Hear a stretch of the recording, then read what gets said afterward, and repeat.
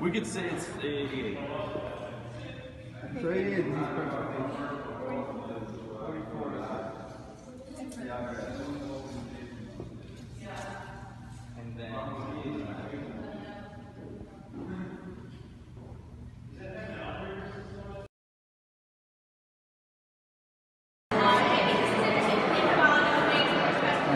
dad talked a lot. Maybe this one's. Well, I, I want to read the uh, translations.